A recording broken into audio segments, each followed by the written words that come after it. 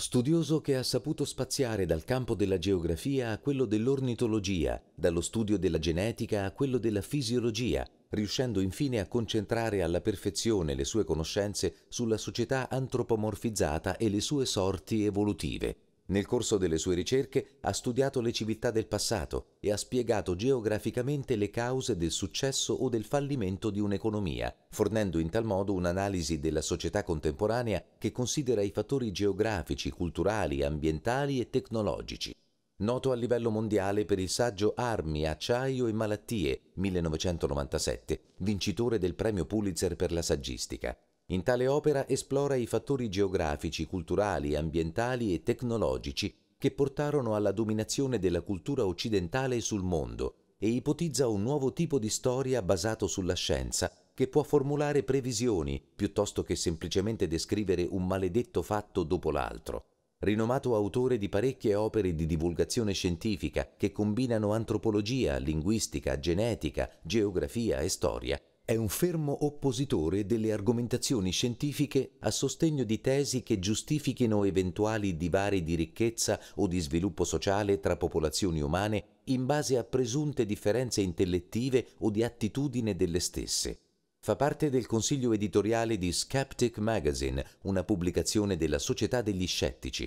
È inoltre membro della Società Filosofica Americana, dell'American Academy of Arts and Sciences e dell'Accademia Nazionale delle Scienze.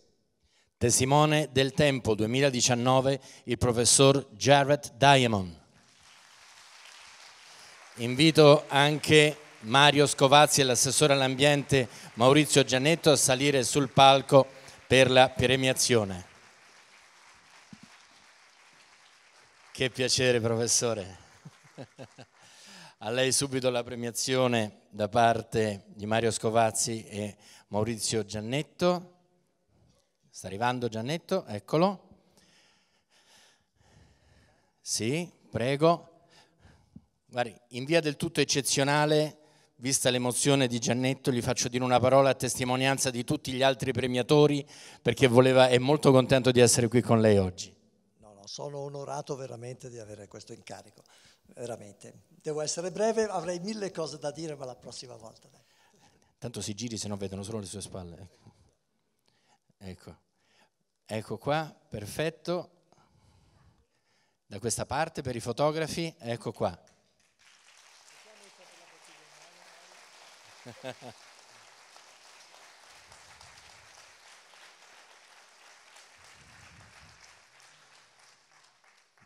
Perfetto, fatte le fotografie, teniamo i premi così lui può sedersi sul, glieli riconsegniamo dopo. Professore, si accomodi, questo è il microfono per lei. Ecco qui. Beh, devo dire che sono un uomo fortunato. Eh?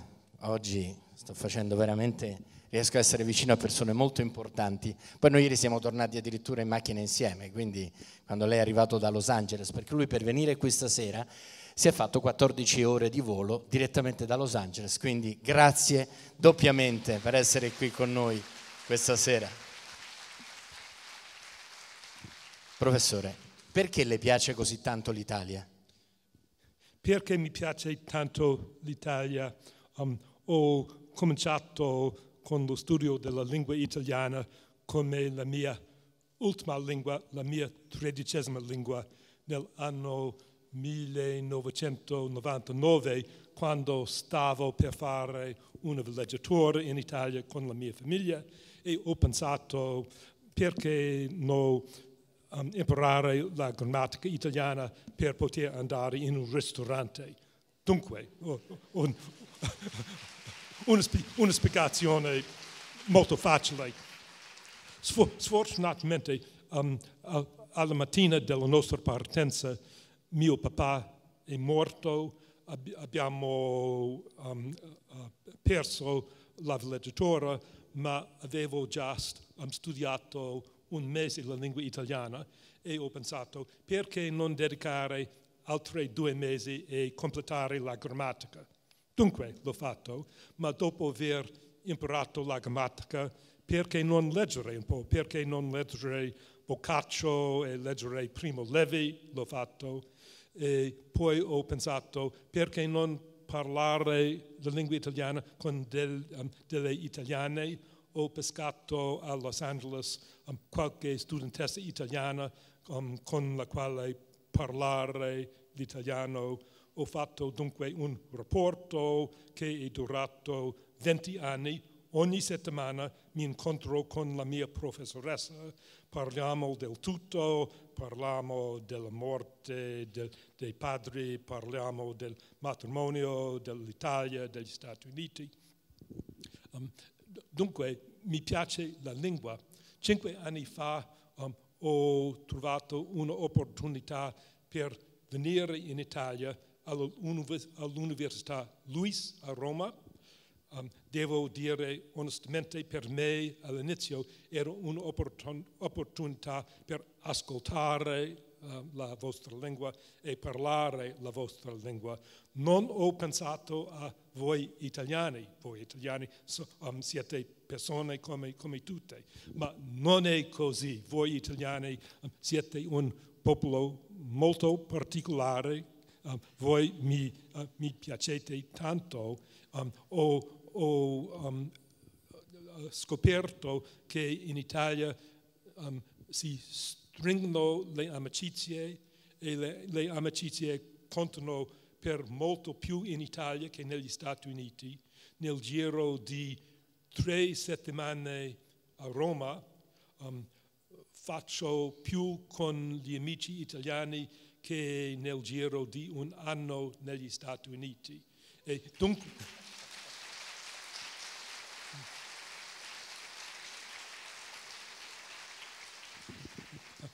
per, per me um, l'Italia è eccezionale per, per l'influenza dei rapporti personali e dell'amicizia molto più che negli Stati Uniti. Grazie professore, ci ha fatto una bella sorpresa. Lei ha parlato che è venuto in Italia anche a insegnare alla LUIS, no? questa università molto importante. Io non sono di parte, ho solo tre figlie che studiano alla LUIS, voi capite non sono di parte. Però ecco, lei parla di amicizie, ieri è arrivato il, il responsabile della LUIS a incontrarla perché sapeva che era qui a Acqui per poche ore e quindi è venuto a parlare con lei, quindi questa amicizia vuol dire che è solida, insomma, non solo a, a parole. Però la cosa che mi colpisce, a parte quali sono le altre 12 lingue che lei parla? Le altre 12. A parte l'inglese. Sì, diciamo cominciai con, con, l'inglese, sì. poi nella scuola secondaria ho frequentato una scuola classica e, e ho um, imparato la lingua latina, sì. poi la lingua francese, poi la lingua greca. Quando stavo per frequentare l'università uh, mi è stato detto che la lingua tedesca sia così difficile che sarebbe impossibile um, superare un esame per, um, per cominciare la lingua tedesca senza studio in avanzo e dunque prima di cominciare l'università ho dedicato l'estate allo studio della lingua tedesca. E cioè prima dell'università già ne conosceva cinque di lingue? Ecco, siamo a cinque. Sì. All'università ho studiato la lingua russa, la lingua spagnola, poi sono, um, ho um, trascorso un'estate in Finlandia, ho imparato la lingua finlandese, poi sono, ho cominciato a lavorare nella Nuova Guinea, ha imparato una lingua tribale e una lingua di mercato e poi la lingua indonesiana. Um, poi ho dovuto imparare almeno a leggere la lingua um, olandese um, per la letteratura sulla Nuova Guinea e finalmente per caso la lingua italiana sarà la mia ultima lingua. È, è molto più difficile imparare una lingua all'età di 62 anni. Ho vissuto in Germania all'età di 23 anni ed imparare una lingua a 23 anni è molto più facile, benché ogni giorno negli Stati Uniti leggo l'italiano, non leggo la letteratura inglese mai adesso, soltanto leggo la, la letteratura italiana, adesso sto leggendo per la quinta volta di Primo Levi, um, se non ora, quando. Ciò nonostante,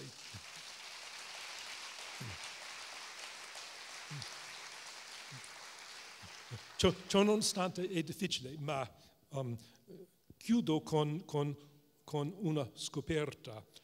Sei anni fa um, una psicologa e un medico hanno studiato clienti um, nei casi per, per i vecchi a Toronto.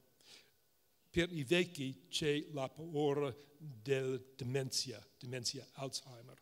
E sembra che non c'è niente che può impedire i sintomi del, del demenza Alzheimer. Ma in questo studio loro due hanno scoperto c'è una preventativa soltanto con, contro la demenza e questo è il bilinguismo. Che, quelli che conoscono soltanto una lingua sono più a rischio, ma quelli che, conosco, che conoscono due lingue o più di due lingue um, guadagnano una protezione di cinque anni contro i sintomi del, del demenza. Quindi lei sta avanti di 60 anni, insomma. Sì.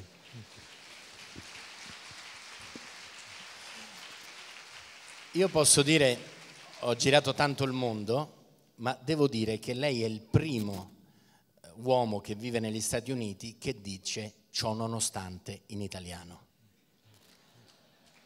Siamo a un livello altissimo. Eh? Anche se so che lei ha una piccola difficoltà nella distinzione tra capello e cappello. Dica la verità. Sfortunatamente ho cominciato lo studio della lingua italiana con CD, non con un insegnante. E sono due le cose che per me rimangono catastrofe. È, aper- è aperto ed è chiuso. Pesca, pesca. 20 e 20. Poi, eh, cappello, cappello e cappello bello per me rimane impossibile.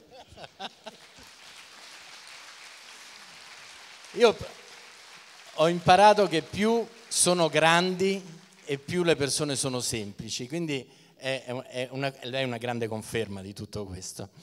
E poi è la prima volta che conosco un vincitore di un premio Pulitzer, quindi è veramente importante questo. Però lei è un fisiologo, ha lavorato eh, come eh, ornitologo in Nuova Guinea, com'è che alla fine si occupa di storia ed è diventato uno storico? Mio, mio, il mio, mio, papà era medico, uh, mia mamma era, um, suonava pianoforte, professionista e anche era linguista.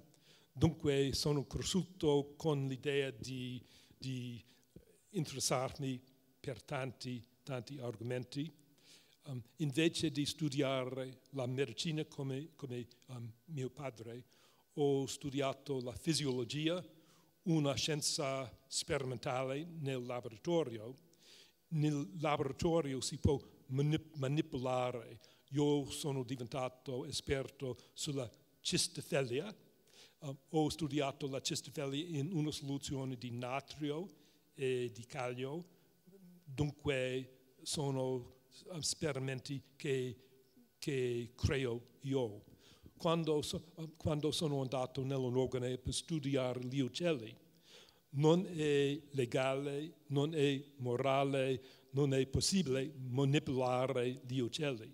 Invece ho dovuto trovare gli esperimenti naturali, un monte con una popolazione di questo uccello e un monte dove manca questo uccello ma um, dopo, quando, quando, mi sono trasferito nello studio d- um, della storia, um, quando, quando, sono nati i miei bambini, um, io avevo 50 anni e mi sono accorto il futuro dei miei bambini non dipende dal cistifelia, ma, ma, dipende dalla storia e dalla geografia. Dunque ho cominciato a scrivere libri sulla storia, ma nella storia non si può fare gli esperimenti di manipolazione.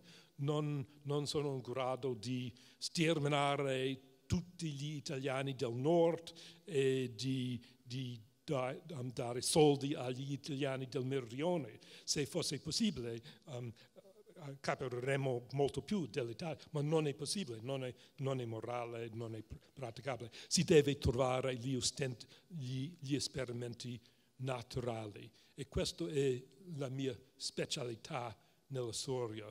Io faccio la storia comparativa, non studio mai la storia di soltanto un paese, ma faccio paragoni tra tanti paesi. Per esempio, il mio, il mio nuovo libro che uscirà martedì, martedì della prossima settimana. Um, segnatelo. Eh? Um, in Italia, uh, il mio prossimo libro, Crisi, fa, um, paragona la storia della Finlandia, del Cile, dell'Indonesia, della Germania, del Giappone e degli Stati Uniti tramite um, paragonare si può guadagnare idee, conclusioni che non sono accessibili quando si studia soltanto un paese. C'è, c'è un, un dita tra gli storici, chi studia soltanto un paese finisce col finire, col um, capire nessun paese. È esagerato, ma c'è un vantaggio di, di fare paragoni. Lei ha studiato un vecchio assunto dice che l'intelligenza è un dono, la saggezza è una conquista, perché grazie all'intelligenza si possono accumulare esperienze, non solo direttamente, anche indirettamente, anche attraverso l'esperienza di altri uomini, e migliorare la propria capacità di giudizio e di valutazione attraverso la saggezza. Lei ha studiato intelligenza attiva e passiva. Come si stanno sviluppando queste due intelligenze nelle nuove generazioni? L'intelligenza attiva e passiva è la differenza tra la mia generazione dei vecchi e la generazione dei, dei miei figli.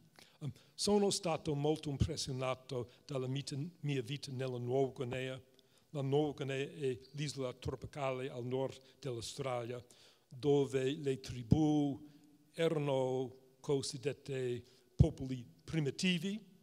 Quando sono arrivato nella Nuova Guinea, i neoguineani utilizzavano ancora gli attrezzi di pietra e di legna, non attrezzi di metallo. Sono arrivato con l'idea che i neoguineani sono popoli primitivi bastava un giorno per scoprire che non c'è niente di primitivi um, per i neoguineani. Um, le loro lingue sono lingue più complesse, molto più complesse della lingua italiana. Sono persone molto con curiosità e mi sono posto davanti alla, alla domanda perché sono quelli popoli così intelligenti rimasti con gli attrezzi di pietra, mentre io, che non sono in grado di trovare un sentiero nella foresta, sono arrivati con gli attrezzi di metallo. Um, questo, questa domanda um, mi sono posto per anni e anni e dopo, dopo 20, 25 anni nella Nuova Guinea, finalmente ho cominciato a scrivere un libro, Armi, Acciaio e Malattie, che ha a che fare con perché io ho gli attrezzi di metallo e loro hanno gli attrezzi di legna. Non ha niente a che fare con l'intelligenza. Um, l'intelligenza forse dei neoguineani um, è superiore alla nostra intelligenza perché loro chiacchierano sempre, continuamente tra loro, ma ha a che fare con l'ambiente. E ieri ho discusso, ieri pomeriggio, ho spiegato i fattori ambientali che sono il risultato nel fatto che io porto gli attrezzi di metallo e loro no. Quali Ancora un paio di domande. Quali tecnologie in futuro potranno fare la differenza? Quali tecnologie?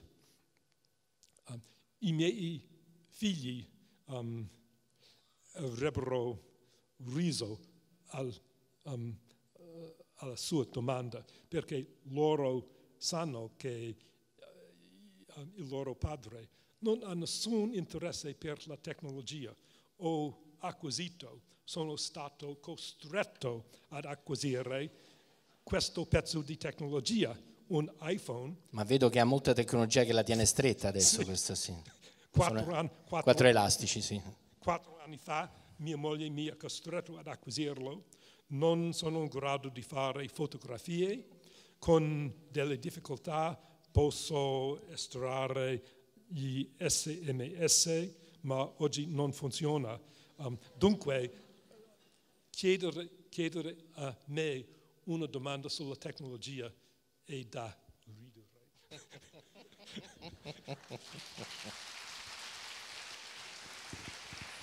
E che dovevamo vedere quel cellulare, ci scusi. Insomma, business e natura saranno sempre avversari o potranno andare d'accordo? Ecco un argomento molto, molto serio e importante. Quando adesso io- sono stato per quasi 40 anni membro del consiglio amministrativo del WWF degli Stati Uniti. Dunque sono un ambientalista. Quando ho cominciato ad occuparmi um, delle ditte petrolifere, ho creduto come tanti ambientalisti che le ditte grandi e soprattutto le, le ditte petrolifere sono malvagi, sono cause del disastro per il mondo. Ma ho imparato che tra le ditte grandi del mondo, la ditta petrolifera Chevron, la ditta Walmart, la ditta Procter e Gamble. Ci sono delle ditte grandi che si interessano all'ambiente, che hanno scoperto che per loro c'è più profitto interessarsi per l'ambiente, ma anche per motivi di ideali. Um, i, I motori più forti nel mondo moderno sono i governi da un lato e le ditte grandi di- di- dall'altro lato. Se noi abbiamo l'idea che le ditte grandi, le ditte internazionali sono da, da odiare, è una tragedia. È vero, parecchi sono da, da odiare, ma altri sono forze per il bene e dobbiamo eh, um, coinvolgerci con le ditte grandi perché sono così potenti e importanti. Grazie, grazie veramente Jared Diamond, grazie per questa sua partecipazione. Volevo farle anche i complimenti per questa bellissima cravatta, è la prima cravatta che vedo con uno pterodattilo sopra, E non l'ho mai vista, è una cravatta con lo pterodattilo e quindi complimenti per la sua intelligenza, per la sua disponibilità, per il suo sorriso. Grazie veramente. Molto grazie.